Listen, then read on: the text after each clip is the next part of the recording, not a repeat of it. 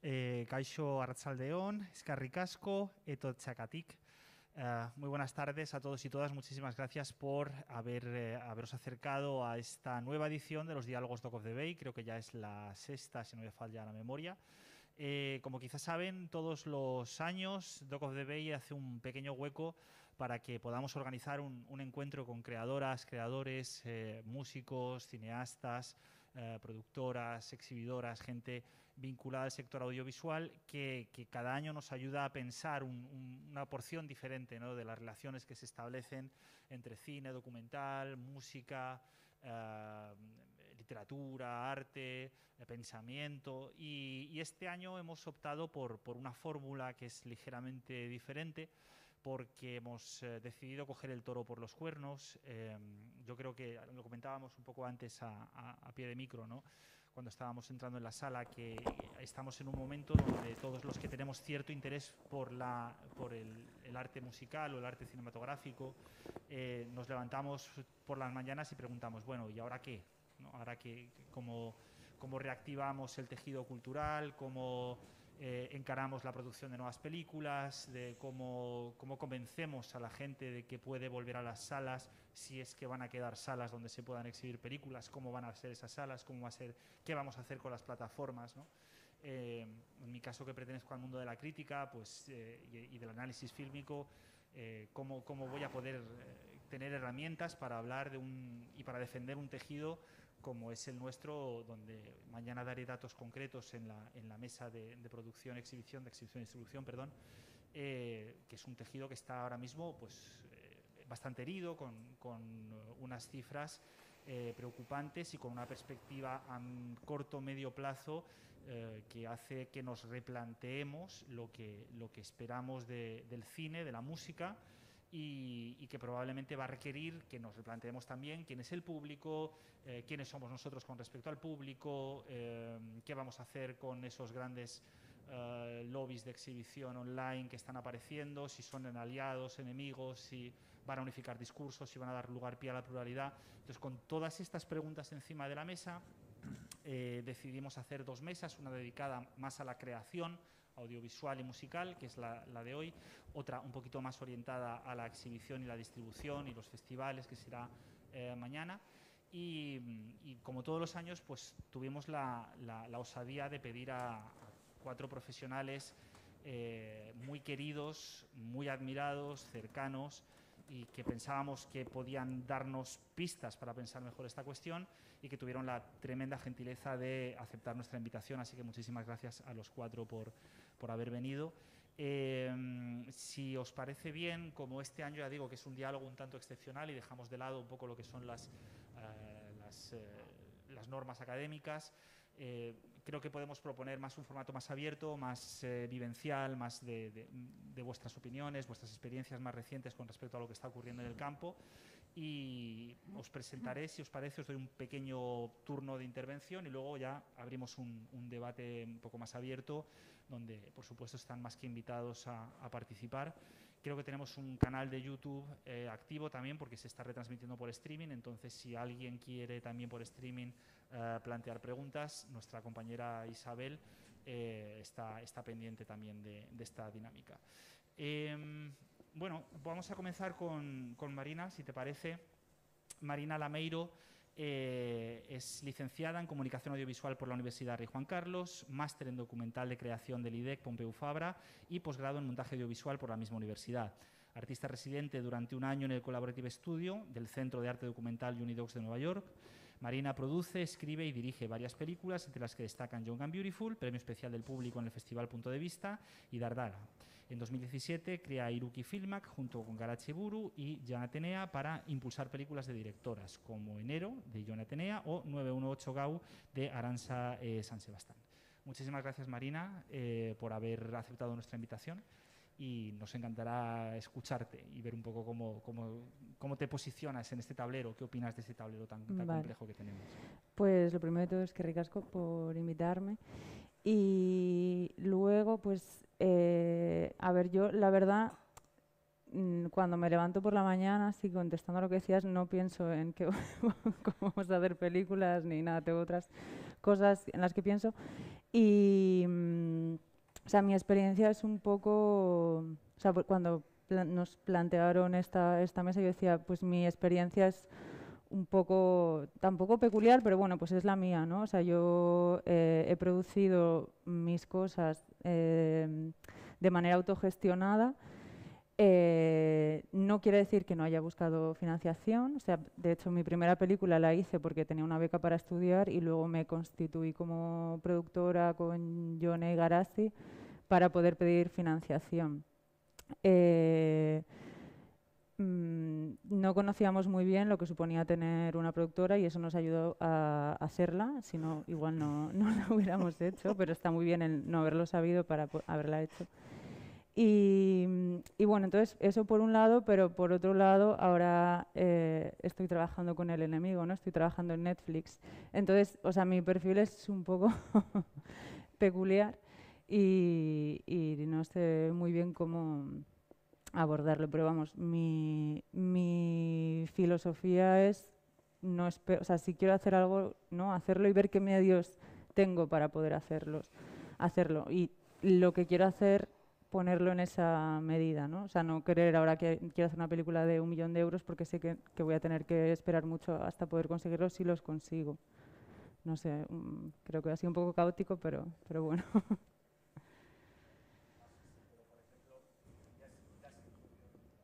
ya has introducido cuestiones que después podremos tirar del hilo, como la cuestión de la autogestión o la cuestión de, lo que tú llamabas el enemigo, ¿no? de, cómo, pactar si es que tenemos que pactar o podemos pactar con, Netflix. O sea que ahí, hay como dos, eh, dos cosas para empezar a tirar.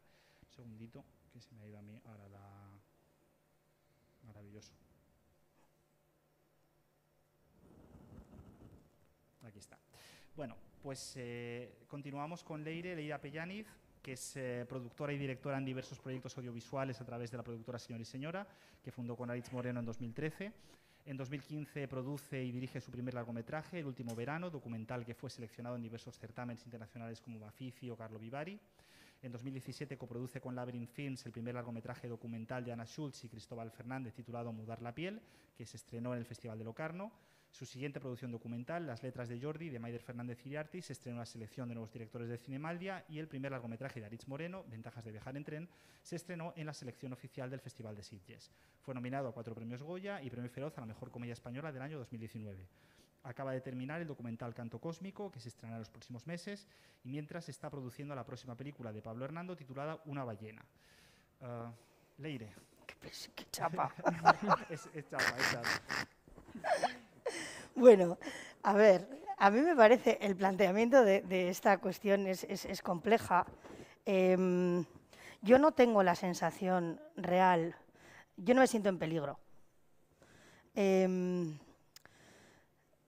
bueno, o sea, yo lo que estoy intentando es hacer que, mi vida y, lo que, y el cine que quiero hacer sea sostenible. Entonces, bueno, pues intento buscar la, forma de adecuarme mínimamente al, mercado siendo coherente con lo que quiero contar. Ya hemos comentado antes, para mí el cine no es un objetivo en sí mismo, no, no, no tengo un interés eh, por el objeto en, prácticamente ninguna de las, de las artes. Eh, para mí es un medio eh, de expresión, de comunicación, de estimulación. Bueno, es no sé, es otra cosa, ¿no? Y, en ese camino intento buscar eh, un equilibrio también entre lo que quiero contar y lo que quiero, transmitir y también intento que, le llegue a la mayor cantidad de gente posible dentro de un orden. Y, también nuestra experiencia, nosotros abrimos Señores y Señora en el 2013 y, y ya llevamos, pues creo que siete, ocho años abiertos. Han sido ocho años muy duros, donde este es el primer año que Arich y yo vamos a cobrar. De, en serio. Antes lo que hacíamos era, si salía un proyecto y conseguíamos pasta, pues cobrábamos, y si no, pues a proyectar a tabacalera, que es lo que hacíamos, de eso vivíamos. Y, y, y yo no quiero volver a esa precariedad, o sea, yo no quiero estar ahí. Entonces, para no estar ahí, también entiendo que hemos hecho un camino largo y, y bueno, eh, Aritz tiene un perfil más comercial, aunque también bastante autoral, y lo que vamos a intentar es ser, seguir siendo coherentes con eso. Creo que ni Arich y yo nos, caracterizamos por una cosa y es que eh, no le dedicamos un minuto a nada que no nos pone cachondos. O sea, no podemos, o sea, somos incapaces. Pero, o sea, yo lo mío es radical, pero lo del otro no te cuento cómo es. No hace lo que no le gusta. No lo hace, no puede. Entonces es como, solo podemos hacer las pelis que nos gustan.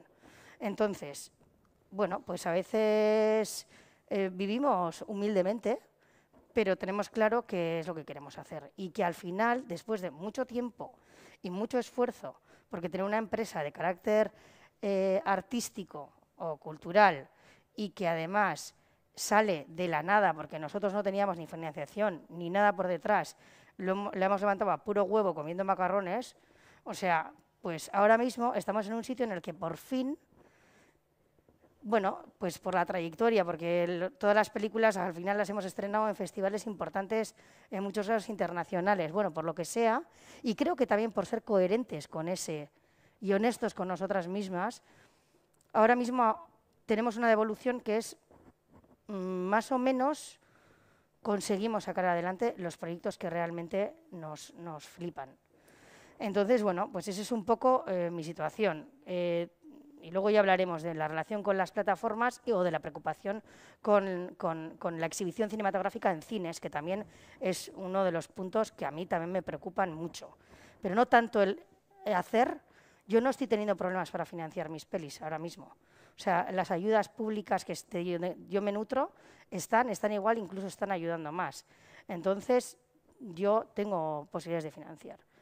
Y luego es un poco por cerrar, yo también un poco por ser súper coherente con lo que yo, Leire, no Leire y en señor y señora, quiero hacer.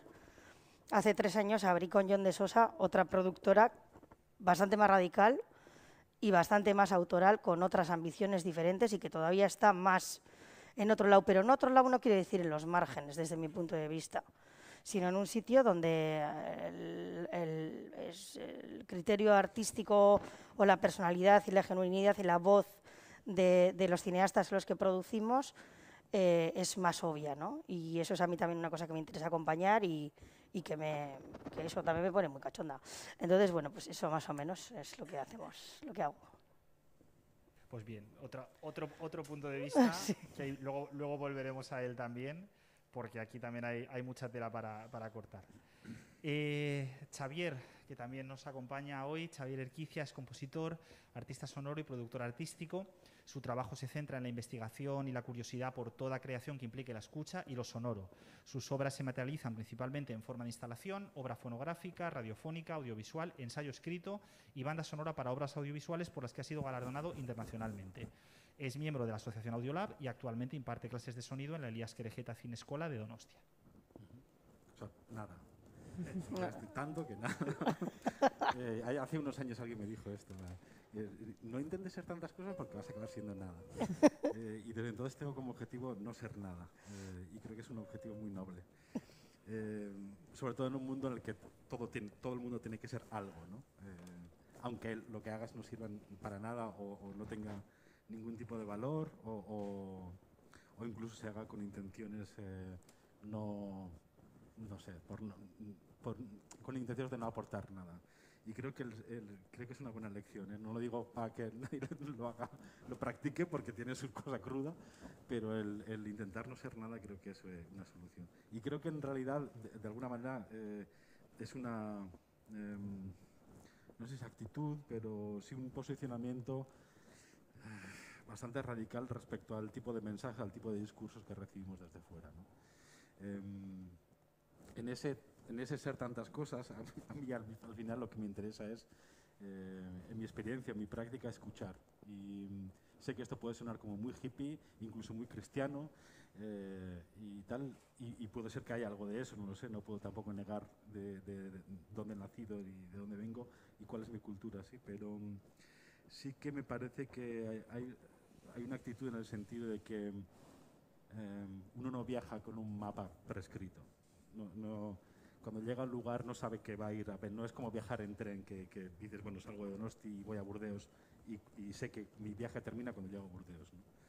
Eh, a mí me gusta eh, más eh, perderme en el camino y aunque me encantan los trenes por el sonido que hacen, eh, a mí me gusta viajar de otra forma. Y de ahí que la escucha se convierte en otra cosa. Eh, ¿Qué supone eso? Pues entre otras cosas supone eh, una reflexión bastante interesante. Yo en realidad vengo de ser músico de alguna forma, ¿sí? y en un momento dado es como que me aburrí. Me aburrí porque me parecía que, que en realidad la, eh, la exigencia del público mataba lo que yo quería hacer. Quiero decir que eh, estoy totalmente de acuerdo con lo que decía Leire, ¿no? que hacemos las cosas para que alguien las escuche también, si uno, y uno cuando se dedica a escuchar aún más, pero, pero creo que el em, centrarse en eso o poner todas las energías en eso acaba en hacer cosas que nadie quiere escuchar tampoco. ¿sí? Entonces, claro, el límite es muy, muy ambiguo y, cuando hablamos de creatividad, creo que meter el dedo en ese lugar puede ser como bastante peligroso porque la experiencia de cada uno lleva eh, la misma idea a lugares completamente diferentes. Pero es verdad que el tipo de trabajo que hago yo no es un tipo de trabajo que pretenda llegar a masas de gente. Eh, pretende llegar a dos en las salas. Y, es una cosa que a mí cuando me tocó empezar en esta cosa que es, pues, podemos llamar arte sonoro o lo que sea, eh, por generación no tenía ningún referente aquí.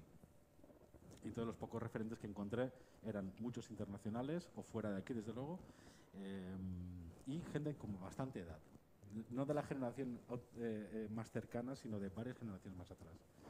Y si hay una cosa que he aprendido de esa gente que llevaba ya 50 años sin que nadie les diera ni puto caso y seguían insistiendo en hacerlo, en hacerlo, en hacerlo, es que precisamente, eh, por mucho que ahora a los 80 años hayan mm, conseguido este reconocimiento, siguen haciendo las cosas para dos personas.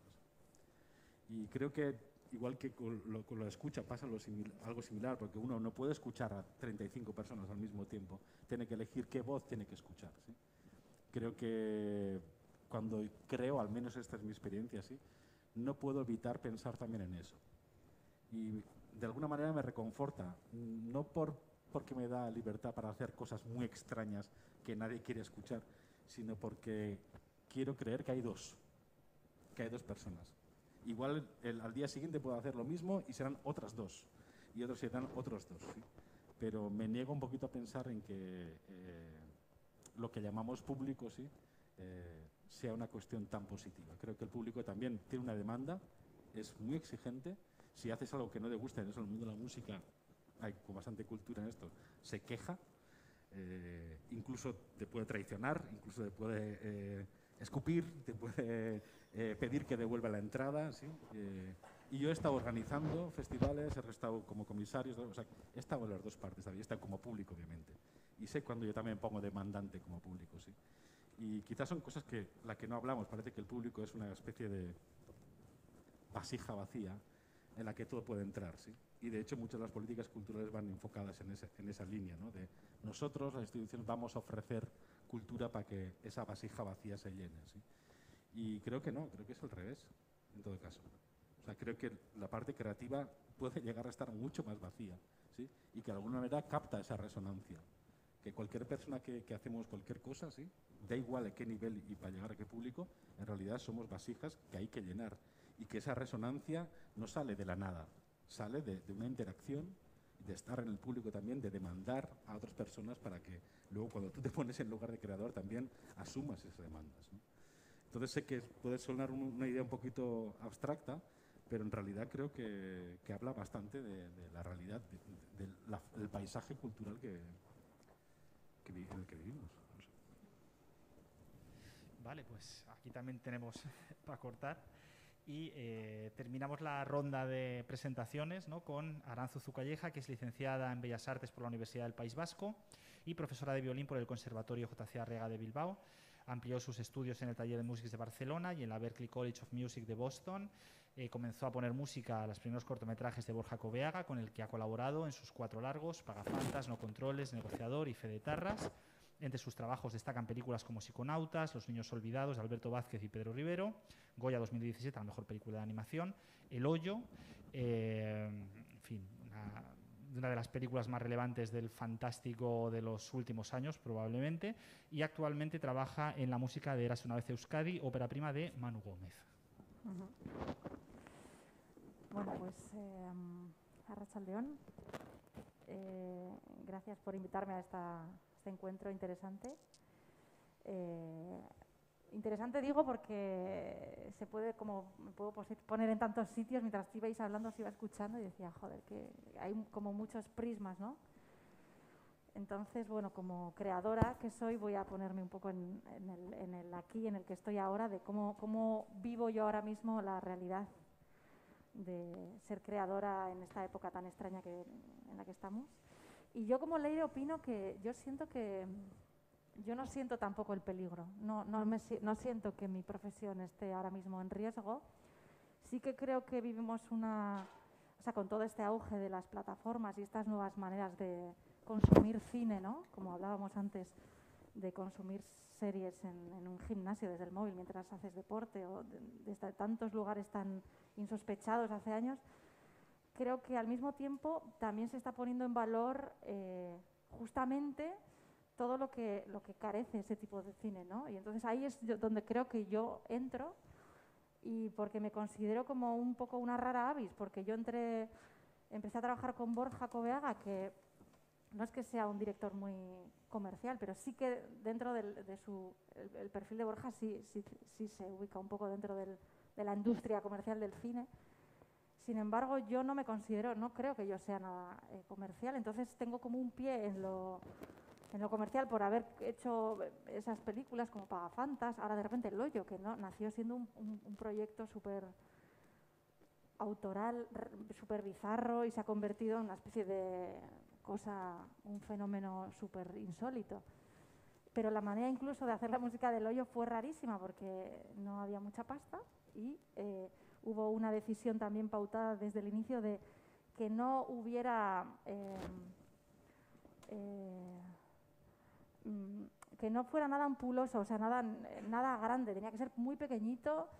Eh, mm, hablamos de, bueno, yo toco el violín, entonces intenta hacerlo todo con pocos recursos, entonces está hecho todo con yo tocando el violín, es una película, es rarísimo esto, yo, si a mí me lo cuentan diría, ¿qué, ¿cómo puede ser? Y funcionó, y entonces creo que, que yo he tenido la oportunidad creo que ha sido una mezcla de trabajo propio, que no me quiero quitar yo mi mérito, pero también ha habido una serie de, de condiciones que, me han favorecido esto y creo que he podido desarrollar como mi, mi, manera de hacer, que personal o no es la mía, eh, en un mundo un poco, o sea, en un, en un entorno un poco mainstream. Entonces es como un poco, bueno, pues creo que creo que ahí hay un lugar, hay un lugar en el que en el que eh, hay una brecha que, creo que se puede explotar. Y sí que creo que el público, eh, por mucho que haya un, apogeo y un consumo masivo de, productos súper estándares y súper comerciales y eh, uno, que son modelos uno tras de otro, Netflix en el top de esta cosa como de tiburón, el público no es idiota y el público entiende cosas y sabe valorar frente a eso, que puede consumirlo porque, porque es muy consumible y porque es como comer gusanitos, al mismo tiempo eh, sigue buscando eh, proyectos autorales más especiales, más específicos, con ciertas eh, diferencias. ¿no? Entonces yo creo que por ahí sí que, sí que creo que ni la crisis, ni la pandemia, ni, ni las plataformas crecientes van a, van a cargarse eso del todo. Siempre va a haber algo de eso, siempre va a estar. Bueno, pues con, estas cartas que, nos habéis dado para empezar, em, creo que ya como podemos empezar a extrapolar patrones. ¿no? Por un lado, intuyo que hay generalmente una, una, posibilidad de trabajar como en dos tableros diferentes o con dos ideas diferentes, una un poco más mainstream, una un poco más autoral. Eh, no sé si esto sería una pregunta interesante, si hay alguna diferencia en el planteamiento de la pandemia en lo estrictamente cinematográfico y lo que toca un poco más a la música, eso sería también otro dato importante. Pero por, por empezar con algo muy concreto, los cuatro habéis hablado de una cosa que me, me parece súper interesante y es que, hablando mal y pronto, hacéis lo que os da la gana, en el mejor sentido, o sea, es como una constante. Eh, o por lo menos eh, lo más cercano a lo que os da la gana, como decía Leire, lo que, lo que os pone cachondos. Claro, la primera pregunta que se me ocurre al hilo de esto es, eh, primero, cómo, cómo llegáis ahí, es decir, cómo- en qué momento dais ese salto y tomáis la decisión de que podéis hacer lo que os dé la gana, que yo creo que es una pregunta complicada.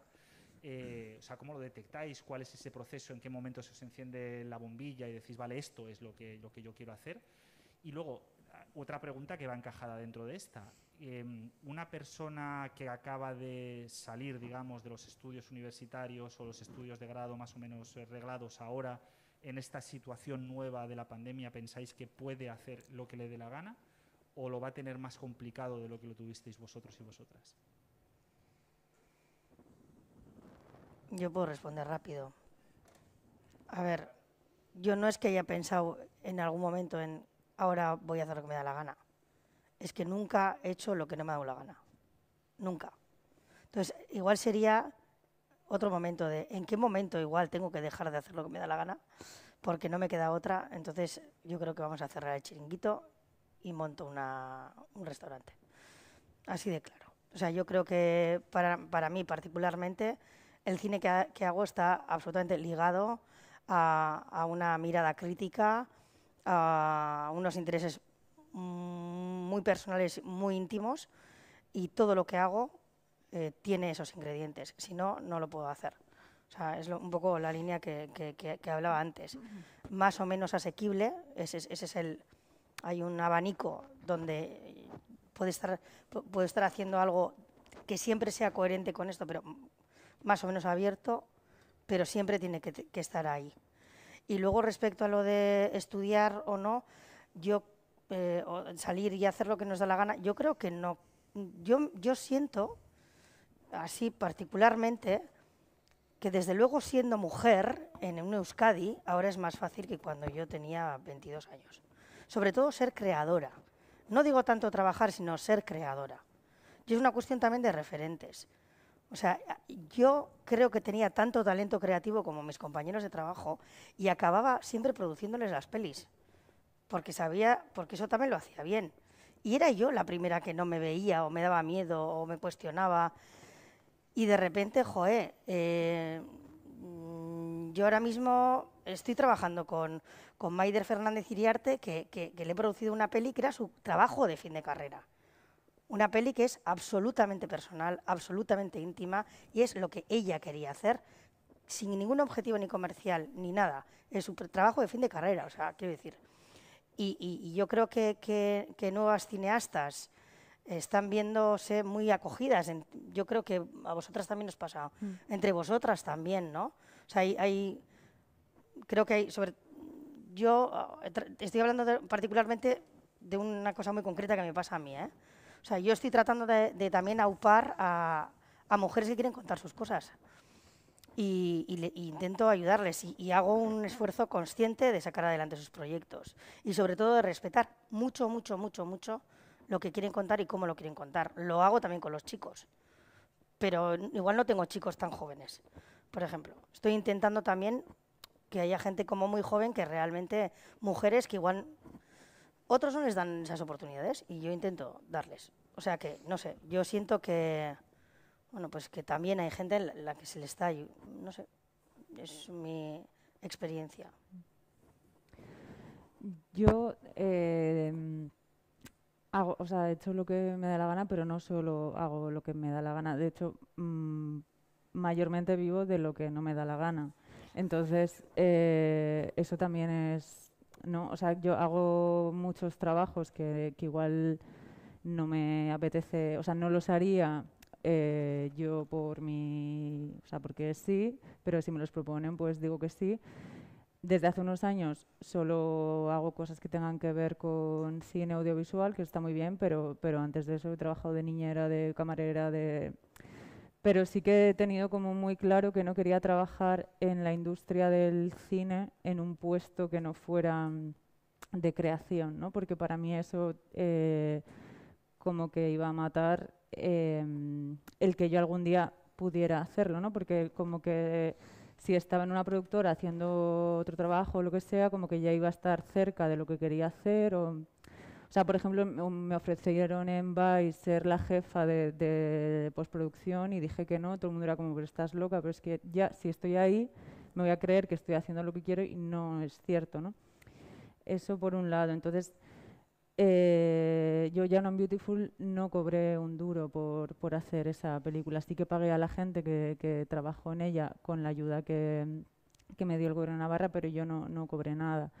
Eh, entonces, mi forma de hacer lo que me da la gana es no necesariamente ganando dinero de, de, ello. Ojalá algún día pueda dedicarme solo, solo a ello, pero no es, no es algo que, que me impida hacerlo. ¿no? Y la otra pregunta de si lo tienen más difícil, pues yo en, mi experiencia creo que no, porque o sea, al final es eh, hacerlo y, luego ya ir viendo qué, pasa, ¿no? Hmm.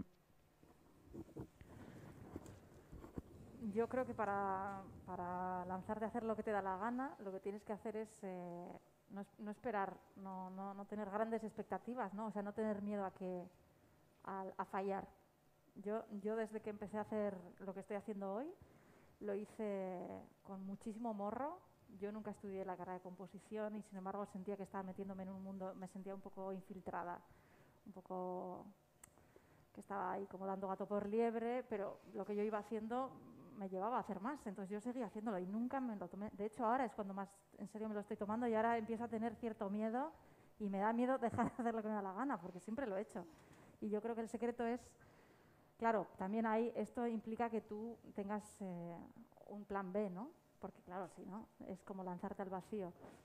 Pero bueno, como yo empecé como, según estaba estudiando la carrera, ya empecé a hacer mis primeros proyectos, nunca pensé que podría llegar hasta, a vivir de lo que yo de lo que vivo ahora no entonces creo que el no tener miedo te permite eh, pues eh, moverte por unos terrenos super, de manera muy libre y posiblemente llegar a lugares donde es, eh, no te importe no no contentar mucho ¿no? Al, a la industria, a quien están arriba. No, haces algo lo que me sale del moño y si nos gusta, pues...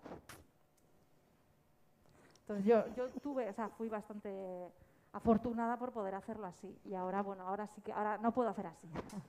ahora estoy ahí intentando mantener mi actitud de sigo haciendo más o menos lo que me da la gana, pero eh, si trabajo para alguien, bueno, pues tengo que encontrar ahí el equilibrio, que es lo más difícil, creo. Pero bueno. Yo eh, me voy a poner en otro lugar, lo siento. Es que me, me parece que, que la, pregunta, la, pregunta había como una contradicción, ¿no? que por una parte parece que para ser algo uno tiene que hacer una carrera y tal, Alan, Alan acaba, de, Alan acaba de, de, confirmar que no, que ella no estudió composición y ha acabado haciendo, haciendo esto. Entonces, creo que la idea de que hay que hacer una carrera para ser algo sí implica también una lógica, un automatismo. Y por otro lado está la cuestión de la chispa, eh, que no sé, yo no me levanto, nunca me ha pasado que me haya levantado de repente, me haya salido una gamadrina, me toque con una, este, y de repente vea, wow, acabo de ver la luz. Eh, entonces, me parece que son como tópicos que arrastramos los creadores, que parecemos que vivimos del aire, y, ahí puedo entender la pregunta, ¿no? De, de lo, que lo, que, lo que nos da la gana. Yo es que más, a mí no me preocupa hacer lo que me da la gana o no, porque tampoco sé del todo. No me levanto cada día diciendo, hoy lo que me da la gana hacer es esto. Igual hoy me apetece hacer country, mañana me apetece hacer death metal y, no pasa nada, ¿sí? Eh, ¿Y por qué no va a ser esto lo que me dé la gana? ¿sí? A mí lo que me preocupa es hacer cómo me da la gana. O sea, el cómo puedo hacer, no el qué puedo hacer, sino el cómo puedo hacerlo. Y creo que es una cuestión de la que, por desgracia, se habla poco. Y, per, nos relaja mucho más pensar que hay una serie de personas que por X razones eh, paranormales hacen lo que les da la gana y tienen la gran suerte de hacerlo, sí, pero no nos ponemos a pensar en el cómo. Y puede ser que los que estamos aquí, los que estamos aquí podamos hacer en, relativamente diciendo eh, lo que nos da la gana, pero nadie nos pregunta cómo. Y resulta que por hacer lo que te da la gana llevas tres años sin vacaciones y nadie se preocupa de eso. ¿sí? O, o, por hacer lo que te da la gana no puedes comprar ropa nueva o, o, no puedes comprarte un equipo nuevo y si te estropea tienes que pedirlo y yo qué sé, mil condiciones que cada persona tendrá su propia realidad. ¿no? Y sin embargo muy pocas veces hablamos de ese cómo. Y creo que en ese cómo se encuentra todo. Si tú tienes los recursos para hacer como te da la gana, harás lo que te da la gana. Pero si no tienes recursos para hacerlo, ¿sí? vengan de donde vengan, ¿sí? porque muchas veces los recursos eh. Con, con, el hoyo que lo hiciste todo tú, con, con mm. violín.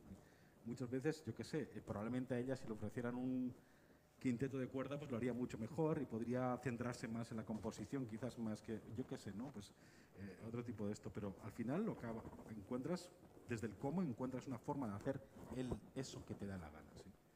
No existe, no creo que exista lo que te da la gana como una esfera flotante. Eh, y, y creo que ese pensamiento en el fondo lo que habla es de, lo decía, como una especie de serie de automatismos que hemos adoptado o aceptado culturalmente y quizás lo que ocurre ahora con toda la cultura digital, con el, eh, el consumo audiovisual bulímico, eh, luego además le añadimos una pandemia y, luego de la pandemia vendrá una crisis y después de la crisis vendrá otra crisis y, o quizás otra pandemia, quién sabe, ¿no?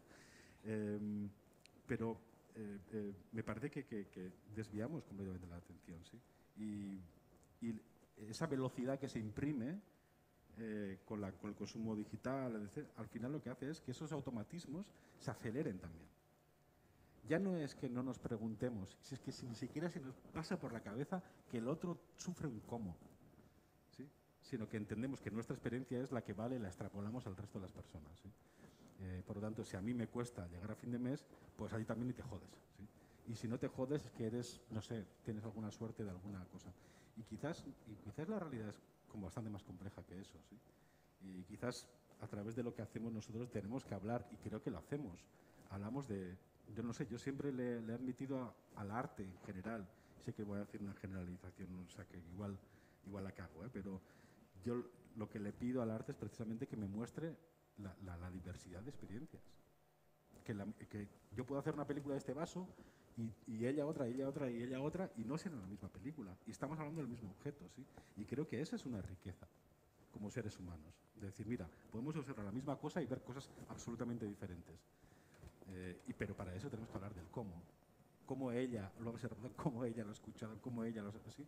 Eh, no el qué, quién es más, quién ha tenido la chispa o quién tiene la carrera y el conocimiento acumulado para hacer la observación más objetiva. No sé, ¿no? Claro, me, acabas de dar un, un, pase perfecto porque yo quería abrir un melón que también está sobrevolando, que es la cuestión del precariado cultural. Eh, a mí uno de los, de los libros que más me ha impactado en los últimos años con diferencia es El entusiasmo de Remedios Zafra. Y para mí fue un desvelamiento total este libro, ¿no? porque alguien se había atrevido a poner en palabras como una serie de ideas sobre el tejido cultural que llevaban un tiempo sobrevolando. Entonces, eh, claro, quizá os pregunto, ¿estamos aceptando de manera crítica que hay un tipo de precariado cultural o que tenemos que sufrir por dedicarnos a la cultura, efectivamente, esta especie como de suerte de equilibrio entre, entre lo que económicamente podemos asumir y lo que, y lo que la sociedad está dispuesta a dar, ¿no? Hay los límites de la monetización de la cultura y del dinero como creadores, ¿no? Que contáis para cometer proyectos nuevos hasta qué punto eso está ocurriendo ¿no? y hasta qué punto eh, intuís que, que ese, ese, ese, juego se va a acelerar a partir de ahora con respecto al mundo pandémico, porque claro, aquí era, es evidente que estamos ante una resituación económica que va a ser muy compleja y yo no sé si, si eso va, pensáis que va a apretar un poquito más la tuerca de ese precariado cultural que está en todos los sectores, que no solamente es uh, cinematográfico, sino que está en la música, en la literatura, en, en, el arte en general? No sé, a ver, yo la verdad es que cuando estaba hablando antes también un poco de, esta parte de hacer lo que quie quiero y tal y cual, eh, sí es cierto y coincido absolutamente con, Xavi que el cómo es, determinante, ¿no? Es como hacer la diferenciación entre forma y fondo es absurdo y es posible que el qué no varíe, pero como el cómo varía, transforma el objeto, y eso está claro. Y, y sinceramente creo que ser autor eh, y coherente con lo que tú quieres es casi una, una osadía y una cosa eh, prácticamente temeraria. Y, y no sé, yo, yo, me siento muy afortunada ahora mismo, pero reconozco que el camino ha sido súper duro y que efectivamente nosotros para poder llegar eh, a, tener una empresa que a priori es más o menos sostenible dentro de un orden muy humilde, de, decir, porque tú, yo aquí digo que la gente piensa que haces ventajas de viajar en tren con Tosar y no sé qué no sé cuántos y tienes buen de pasta. Pues no es verdad. No es verdad porque nosotros somos muy ambiciosos artísticamente y tardamos mucho tiempo en sacar otro proyecto adelante y es muy, muy complejo. Si no nos entra dinero nuevo para volver a producir, no podemos mantener la estructura. Eso eh, también entra en eh, funciona de forma muy dañina en nuestra capacidad creativa, porque yo, por ejemplo, dedico una cantidad de tiempo ingente a, gestionar eh, equ- equipos o buscar dinero que realmente me encantaría no tener que hacer. Probablemente seríamos mucho más brillantes creativamente hablando si no tuviéramos que dedicarle todo este tiempo eh, duro, que es, es duro. Entonces, creo que coincido con, con Xavi absolutamente en la apreciación de que el cómo está determina absolutamente y el que cómo está y el cómo está determinado por, por, por esta cuestión de precariedad cultural. No creo que sea una cosa de ahora, creo que es una cosa de siempre. o sea, quiere decir que los autores, pocos tienen la suerte o la fortuna en, en vida de, de no, no sufrir por el camino y desde el principio eh, poder ser eh, una expresión perfecta y tener las herramientas maravillosas para dar rienda suelta a su, a su creatividad. Eso es una cosa que, que, que es una cosa que no, no sé dónde se da, yo, yo no la, la siento, ¿no? Entonces, por eso yo hablaba al principio de buscar esa sostenibilidad, de buscar un equilibrio para realmente también tener las herramientas que nos permitan crear desde un espacio digno y, que, y, también eh, nutritivo para no estar preocupados. Pero claro, eso es muy, muy difícil. Eso es muy difícil. Y yo creo que es casi, yo me siento súper afortunada por eso. Pero creo que también hay un trabajo muy gordo detrás y, eso. Y haber apostado súper fuerte, súper fuerte. O sea, yo durante, eso os he dicho, durante seis años, yo he comido y he pagado el alquiler de la oficina trabajando de proyeccionista en Tabacalera y siendo la responsable técnica del Festival de Donosti.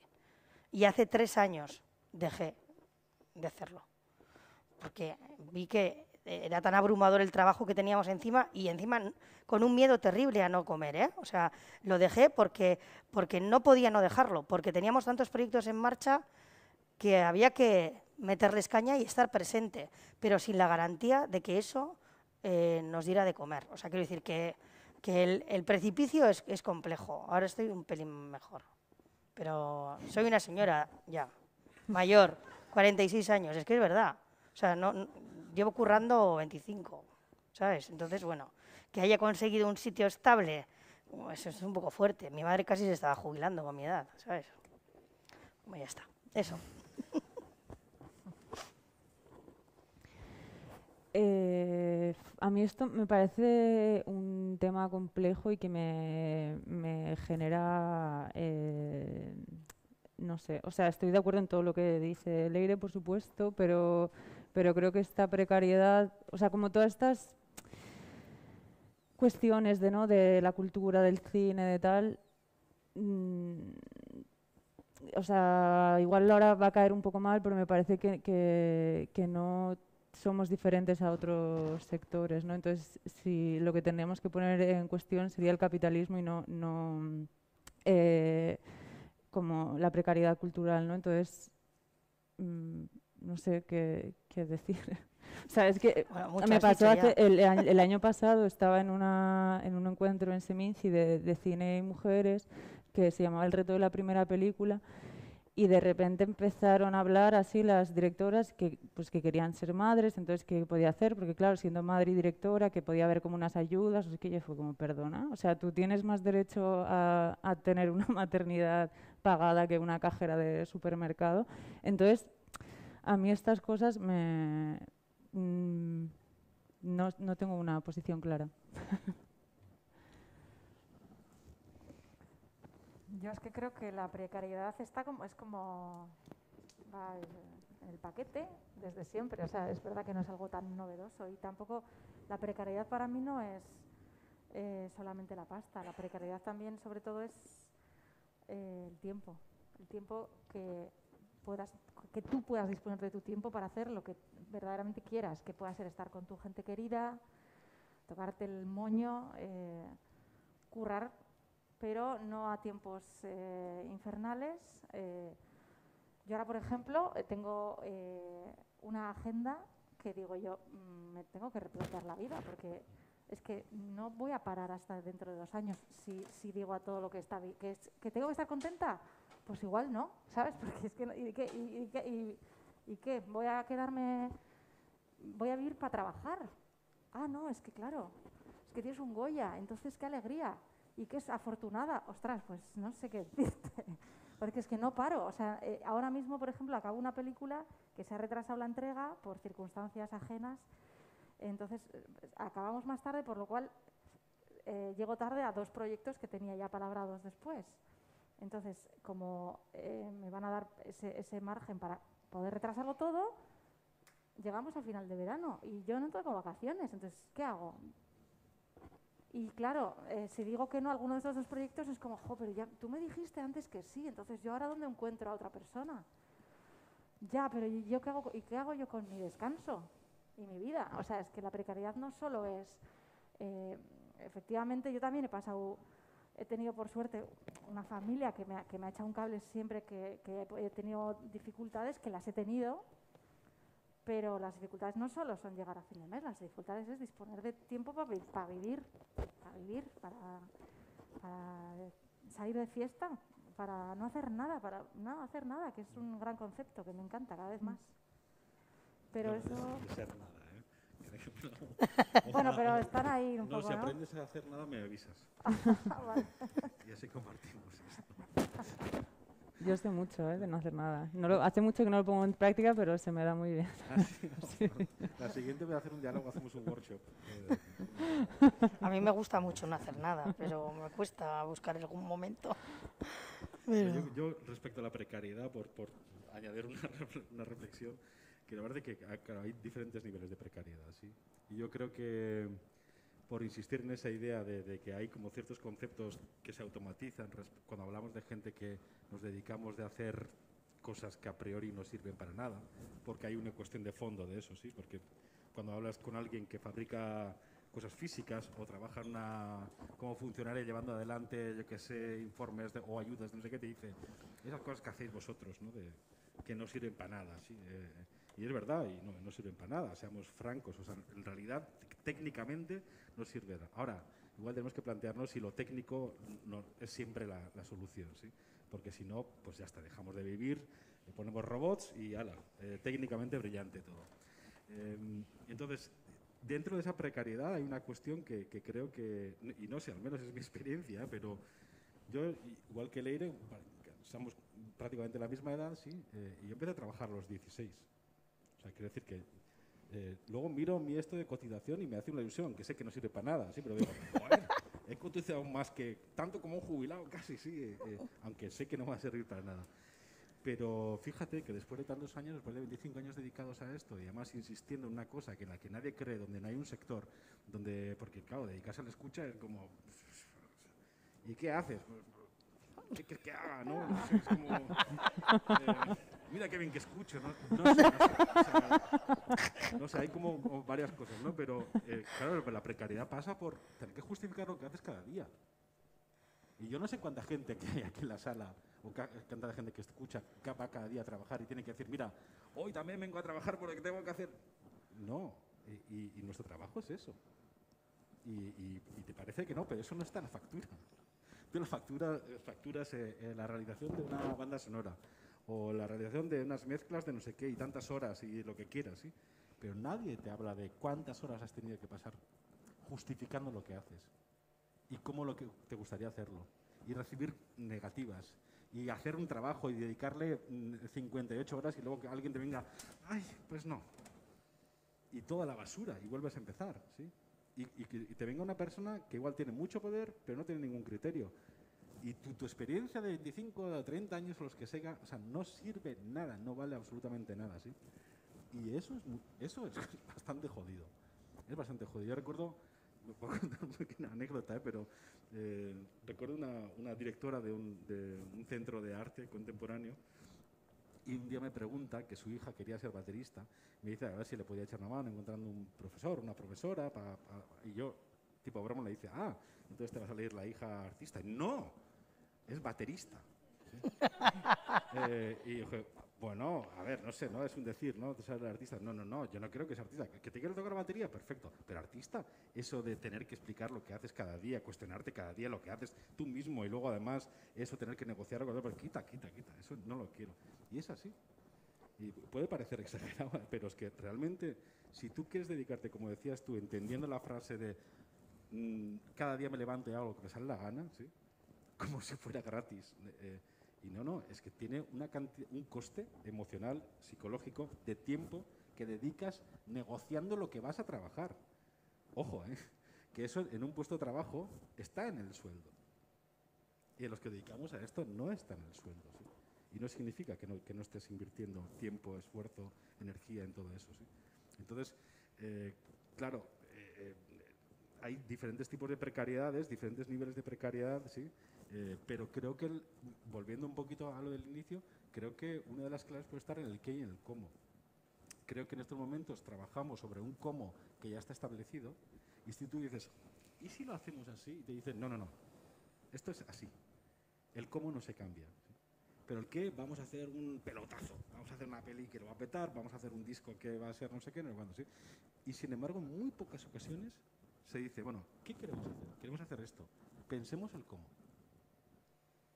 Y esa es la libertad que te da cuando trabajas de forma libre, sin dinero, que es que tú eliges el cómo. Sí, es la única ventaja que tiene trabajar sin dinero. Tú eliges el cómo. Yo creo que la mayoría de, de, de, personas que nos dedicamos a esto somos muy, bueno, la mayoría, no todo el mundo, somos conscientes que tenemos que hacer ciertas cosas donde esa libertad queda un poquito condicionada, pero sabes que lo vas a hacer por dinero y lo haces por dinero. Y luego puedes hacer otras cosas que probablemente no solo no vas a ganar, como decías tú, no, no, no, sino que vas a perder dinero, pero mucho, mucho dinero. Porque Marina ha dicho que ella no cobró, pero no ha dicho lo que se gastó. Ella de su bolsillo, sí, pensando en la película, documentando, hablando, no sé qué, no sé cuántos, haciendo visitas, hablando con no sé quién, haciendo pruebas de cámara, pidiendo una cámara, gastándote quizás dinero hasta comprando una cámara. Bueno, yo qué sé, mil cosas, ¿sí? Eh, que uno se gasta dinero en dietas, en, que, que, va sumando poquito a poco, y para una economía, economía precaria es una cantidad de dinero considerable, ¿sí? que tú ya da, echas a, a, la basura directamente, por decirlo de alguna forma. O sea, que no va a revertir lo que haces tú.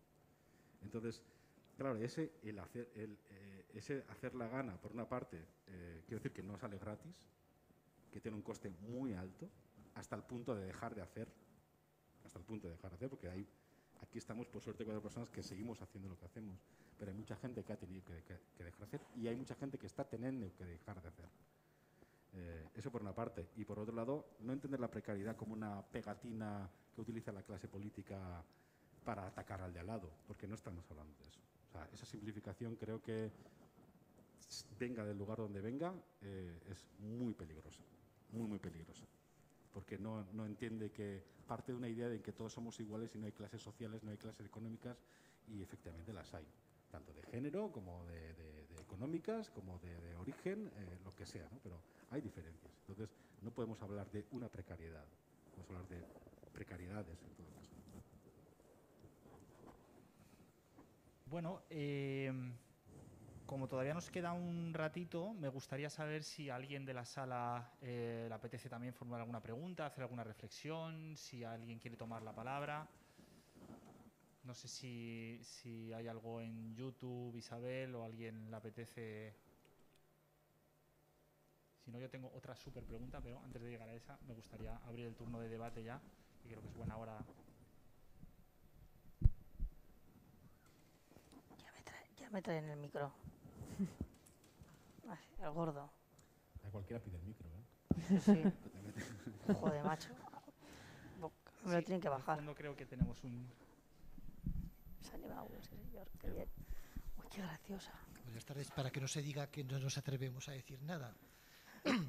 eh, todo lo que han hablado ustedes es muy interesante y a la vez es bastante obvio. Es decir, yo entiendo que parte de nuestras vidas la pasamos quejándonos de lo que hacemos, aunque lo hacemos con gusto. Cuando lo hacemos a disgusto también nos quejamos. En realidad hablan de que el mundo del arte o cultural es precario, eh, casi siempre ha sido precario, ¿no? Prácticamente desde que los románticos en el 19 decidieron escribir o, o componer la música que les daba la gana y no ser criados de ningún amo, de ningún señor, pues empezaron a malvivir, ¿no? A fin de cuentas, yo, poner un ejemplo, Mozart no quiso ser criado de nadie y malvivió. Escribió seguramente lo que quiso, no sé si siempre, y murió joven. Un contemporáneo suyo, Haydn, por ejemplo, vivió eh, y murió con 80 años o más en la cama y escribió también una música estupenda, pero para su amo, para su señor. Entonces, claro, cuando se habla de la precariedad en el arte y en la cultura, a, veces dices, ¿por qué? dices, bueno, porque por un lado hay muchos artistas, no quiere decir que sobren, pero si comparamos con 50 años atrás, ya sé que la población ha crecido también, pero el número de personas que se dedican a este tipo de actividades ha crecido mucho, o al menos que tienen visibilidad. Igual hace 50 años había muchas personas que tenían vocación artística y tenían habilidades artísticas, pero porque fueran no desarrollaban. Hoy en día quizá es más fácil, quizá una cierta visibilidad. Lo que ocurre, claro, que al haber tantas personas y al haber un público, pues yo no sé si más amplio o, menos amplio, no lo sé, seguramente es más restringido y además un público yo el primero a lo mejor que nos hemos acostumbrado a que así como pagamos una cafetera o pagamos, por ejemplo, un coche y podemos discutir el precio, en cambio sí que queremos que la cultura sea absolutamente gratis y que la tengamos al momento y que la tengamos para nuestro disfrute sin tener detrás el convencimiento de que hay personas que sufren, que trabajan, que se esfuerzan y que no sacan un beneficio de eso. Nos parece estupendo eh, que haya muchas películas, que haya muchas eh, partituras musicales, que haya muchos libros, pero los queremos además gratis o casi gratis, ¿no? Y luego, claro, la precariedad también sube, por ejemplo, eh, aquí no hay ningún escritor, y por eso voy a poner un ejemplo, en castellano, si, si cuento euskera, eh, catalán y gallego más, en castellano cada 12 minutos más o menos se publica una obra de ficción. Eh, en libro, ¿eh? en formato libro, ya no digo en internet, en formatos mucho más, eh, más, más baratos y más sencillos. Cada 12 minutos se publica una obra de ficción, ¿no?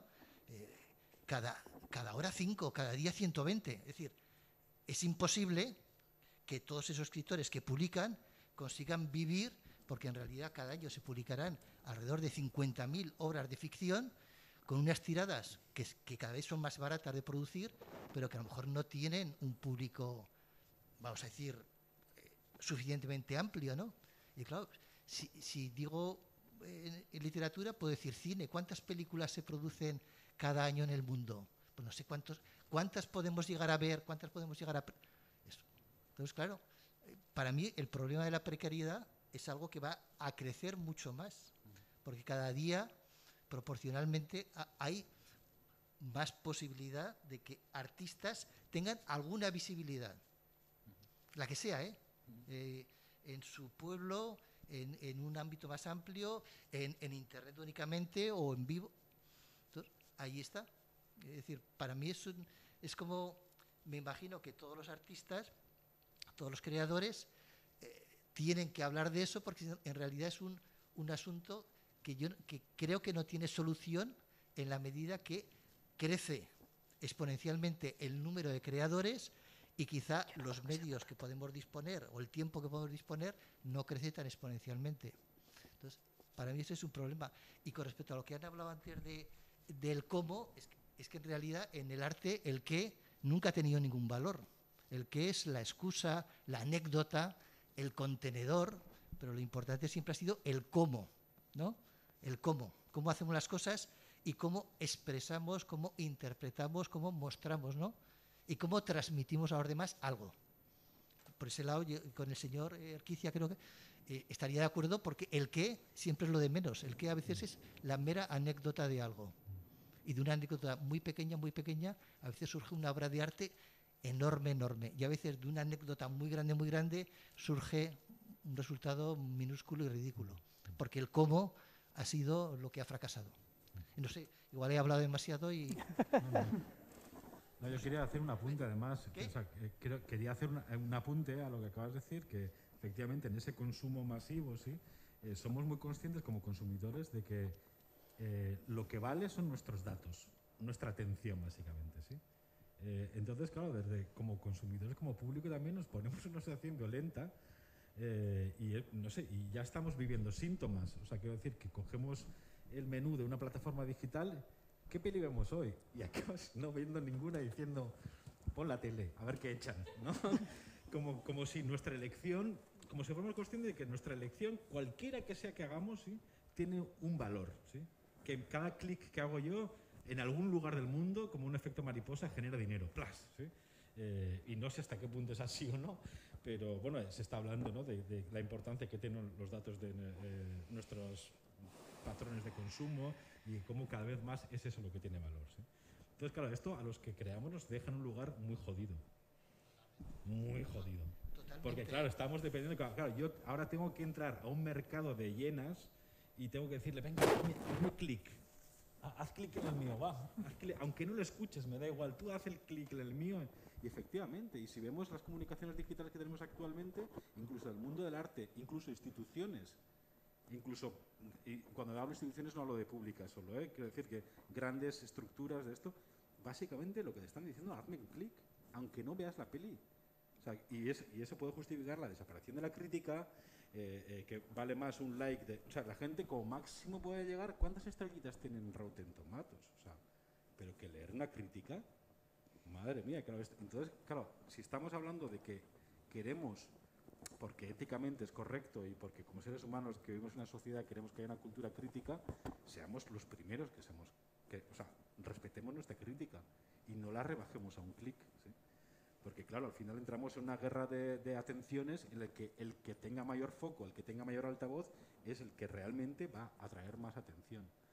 Entonces, claro, es un lugar muy complejo que creo que somos bastante hipócritas socialmente hablando, porque queremos que haya gente que tenga libertad para crear y que en algún momento incluso nos pueda dar soluciones a unas cosas que igual la clase política o, o la tecnificación o la ciencia no nos puede dar, pero quizás el arte sí. Pero por otro lado, no, no, pero tú vas a competir como los demás. Vamos a competir en las mismas condiciones, todo el mundo, da igual lo que hagas. ¿no? Eh, entonces, bueno, no sé, hay una situación como bastante extraña que deriva en procesos muy, muy extraños, como, no sé si es el caso, pero a mí me ha pasado en los últimos años, estoy viendo como que recientemente que cuando trabajas con una institución, insisto, no solo pública, te tratan como si tú fueras una institución. La conversación es de tú a tú, de iguales. Y disculpa, tú tienes 50 personas para trabajar en esto y yo estoy yo solo. Entonces no podemos ir a una reunión o gastar el tiempo en ocho reuniones y cuando acaba la reunión yo me tengo que ir a trabajar, ¿sí? Y esa persona tiene un equipo que le dice, bueno, a ver, tú haces esto, tú a lo otro, y entre 50, me da igual 5, me da igual 3, pero consiguen hacerlo. Y la otra persona está sola que tiene que hacer todo lo que se ha hablado en la reunión, incluso aceptar cambios. Cosa que si tú dices, no, mira, eh, vuestra parte está mal, uy, es que es un lío ahora porque, claro, lo ha hecho otra persona y no está aquí y no sé qué, y se burocratiza, sí, el- ese cómo se burocratiza de tal forma en la que la parte creadora deja de tener voz.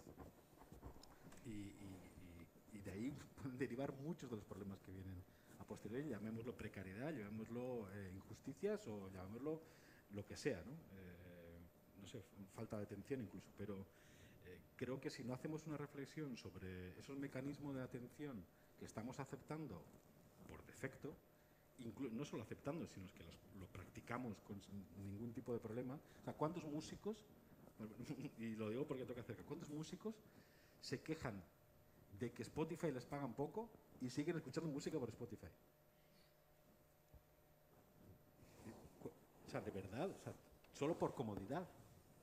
Solo porque, joder, es que desde el móvil entro y no tengo que llevar CDs en el bolsillo, no tengo que hacer nada, ni, y ya, joder, no tengo que mandar una fábrica y dejarme 1.500 euros en publicar un vinilo o lo que sea. Porque además ya nadie, ya compra, vale, puede ser verdad, pero ¿realmente estás dispuesto por comodidad a, a sabotearte a ti mismo? Porque lo que no vale es estar en los dos lados, quejando de que Spotify te paga poco y metiendo tu música en Spotify. Y lo mismo supongo que pasan con las plataformas digitales o poner las películas en YouTube, liberarlas, es lo mismo, ¿no? Ah, pero... Bueno, Pero luego sí que hacemos el clic al videoclip de la Beyoncé hasta que tenga 50 millones y entonces eh, somos como parte de eso. ¿sí? Pero luego mi película no la pongo. Entonces, no sé, hay como varias cosas que, que- que- que no acaban de encajar y yo quiero pensar que es porque todavía somos muy niños en el sentido digital. Todavía estamos jugando con, con una cosa que no sabemos muy bien cómo funciona y cuando llega una nueva tecnología siempre hay un proceso muchas veces más largo, más corto, el que tenemos que aprender a entender cuáles son los pros y los cons de cada cosa que estamos utilizando.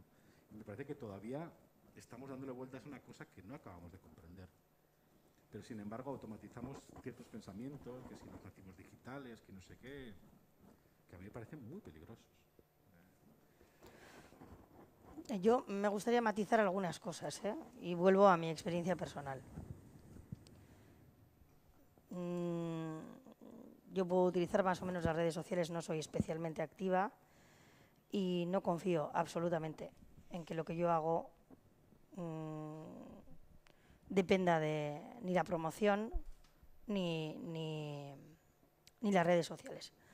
Eh, igual soy un poco a veces pienso que, soy que me la pela, que soy una vaga o que soy una flipada, pero es que yo tampoco le presto atención, yo particularmente. Y creo que, que, el, que le- que el espectro humano es muy amplio. Y sí que hay ah, gente que le interesa más lo más popular, que quiere estar a la última, que se queda más o que le interesa más lo estético, lo formal, que, el que- que- que la profundidad de, de cosas que requieren también eh, otra dedicación, otro interés, pero también creo que, igual que creo que hay- aquí hay un montón de gente que, que tiene otras inquietudes, existe eh, público para otras inquietudes y que igual eh, las vías son otras. Y que yo creo que yo desde luego defiendo absolutamente eh, intentar hacer cosas que realmente que tú consideres que son buenas y necesarias. No quiere decir que le parezcan a todo el mundo, pero que sí que tu objetivo final sea ese. O sea, es cierto que a veces hay una línea muy fina entre el arte mercantilizable y el que no lo es, y qué es un producto audiovisual y qué es una obra de arte, ¿no? Por ejemplo, hablo de- del, del cine, podríamos trasladarlo a la música o a otras artes, ¿no? Entre quien dibuja no sé qué o esculpe no sé qué o alguien que ilustra, ¿no? O yo qué sé. Entonces, para mí ahí hay unos matices que no que, están en, una en líneas eh, muy eh, difusas también. Entonces, em, yo no siento que lo que hago yo, aunque luego intente hacer una promoción que intente llegar a todo el mundo, pero cuando yo me pongo en marcha, o sea, creo que hay una diferencia entre lo que hace Marvel y lo que, o Disney y lo que hacemos nosotros. O sea, eh, y hay muchos artistas trabajando en, en, en Disney, ¿eh? O sea, pero realmente su objetivo es estrictamente comercial. Y nuestro objetivo, en el caso mío, y yo creo que estamos aquí un poco todas en el mismo sitio, no es estrictamente comercial. Lo que no quiere decir que no queramos vivir de esto pero no es, no es el primer objetivo. Entonces, para mí, eso es una cosa, eh, un detalle importante. Y luego también no tengo muy claro lo de que hay tantos creadores. Eh, creo que como todo uno intenta cosas y, y, bueno, pues realmente hay mucha gente súper creativa y hay veces que encauza esa creatividad hacia un sitio menos personal o menos íntimo y, y también tiene una cabida, ¿no? Y tiene una cabida y también nutre, pues igual eh, ciertos sistemas también que requieren de esa creatividad, pero están más abocados a esto, o más eh, encauzados a esa comercialización. Y yo creo que hay sitio para todas, sinceramente. Y yo sigo pensando que, que en un mercado tan globalizado es cierto que cada vez, que igual el 90% de la gente está viendo una cosa y solo hay un 10%, pero es que es cierto que somos muchos. Somos muchas eh, consumiendo también y con criterios dispares y también creo que hay un hueco para nosotras. Desde luego, ya sé que no va a ser el hueco de, de- de Disney, pero es que no quiero que sea el hueco de Disney. Ojalá lo que yo hiciera le gustara a todo el mundo, pero es que yo no voy a poner ese mecanismo en marcha, porque no quiero dedicar energía a eso. Mi objetivo es otro. Entonces, bueno, creo que también por matizar un poquito lo que habéis dicho. A mí con Disney me pasa como con la derecha. es que es lo mismo. Sí, cuanto más radical es, más, más lo aprecio, ¿sí? En ese sentido, lo, lo peor Ya es más que- da- te das claro, cuenta. Lo peor es alguien de derecha convenciéndote que no, pero yo soy, yo no soy tan de derechas, ¿sí? Soy de centro, de verdad, que también tengo sensibilidad. No, no, yo a Disney lo, lo aprecio precisamente por eso. O sea, yo no, no intento encontrar en un producto de Disney eh, Nada. allá. Pero lo, lo paradójico es que Disney, siendo consciente que va a la pura selva, a la pura competición, sabe que o diversifica sus proyectos y aunque sea hace simular que hay algo de profundidad en ellos, ¿sí? Eh, y Marvel es el, el ejemplo más, bon- más, más claro de eso. O sea, quiero decir, Marvel O se Pixar. reinventa o pincha.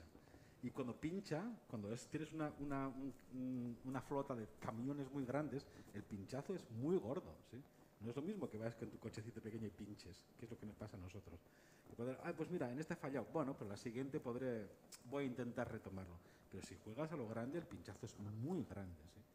Entonces, eh, eh, paradójicamente, todo ese sistema lo que hace es beneficiar a, los camiones muy grandes porque les da la libertad de poder ser, de arriesgar más que, en, cierta medida, ¿eh? pero arriesgar más de lo que puede arri- arriesgar alguien eh, que quiere hacer un cine quizás no tan complejo, pero tampoco tiene tantos recursos. O sea, un potencial director de una película de Marvel, sí, que empieza ahora eh, trabajando en Vitoria, me da igual, sí y que tenía como aspiración llegar a- al Festival de Sitges, ¿no? Ya que, pero claro, es que eh, eh, hay algo que me parece que, que tenemos que aprender un poquito de cómo funcionan las, las- las grandes, porque creo que en vez de salir perdiendo en un mundo que se supone que por más cantidad de, de- de producto consumible, ¿sí? Deberían de salir perdiendo, o sea que la franja que tenían antiguamente en el mundo analógico ellos se debería venir como un poquito más bajo por- porque hay más variedad y es justo al revés. Cada vez hay más. Los músicos comerciales cada vez tienen más millones de visitas en un videoclip. ¿sí? Entonces, algo, hay, hay algo en esa, en esa ecuación que no estamos haciendo bien. Eh, y no sé tampoco cuál es exactamente la, la- solución, pero quizás sería como, bueno, quizás ser más, mucho, un poquito más conscientes de, de nuestros automatismos. Eh, no sé, eh, yo me, yo me he chupado todos, los- todos los- todas las series de Marvel y todas las películas. O sea, te digo todas, todas. Yo hace un rato que ya no. Pues yo sí. Es que me aburro como una ostra, me No, un puto rollo. También por un trauma de, claro, yo- mi infancia es- estuvo marcada por los cómics. Sí, pero, yo- el mío también, pero hasta que no vea a. Belit, no, pero aún así es como, yo qué sé, leerte el ABC, ¿no? De vez en cuando. sí. Igual no todos los días hasta que te lo acabas de creyendo, pero de vez en cuando leerte el ABC y decir, madre mía, sí, ¿cómo está el otro lado? ¿sí? Eh, entonces, bueno, tú adquieres ciertas herramientas, ¿no? Eh, no sé. Bueno, pues con esta exquisita comparativa entre Marvel y, a ver, y el ABC tenemos que cerrar la sesión porque hemos agotado el tiempo. También habéis encarrilado mucho para que mañana podamos coger algunas de estas cosas y, preguntarnos sobre la exhibición, la distribución, el mundo de los festivales, eh, que intuyo que nos van a dar otro diagnóstico también muy crujiente. Me alegra muchísimo que en general la línea de debate haya sido muy positiva con respecto a la situación. Me encanta que me hayáis llevado la contraria ardientemente en mi propuesta, cosa que os agradezco muchísimo, porque lo mejor que eh, lo mejor que puede pasar es que efectivamente nos deis un capón a los teóricos y nos y pongáis un poquito de luz en, el, en, en las esperanzas del, del panorama audiovisual, que al final yo creo que es lo que nos, nos une a todos y ya sabéis que los teóricos somos cenizos por definición. Viceversa, eh, viceversa. Viceversa. Así que muchi- muchísimas gracias por haber participado. A ti. muchísimas gracias a todos los asistentes, a la organización del Doc of the Bay. Y mañana a las 7 nos volvemos a encontrar con la, aquí mismo con la segunda mesa de diálogos. Es Carricasco.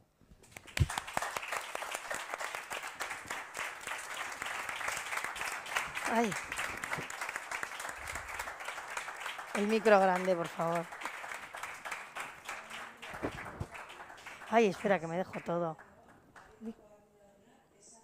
Ah. Ah, vale.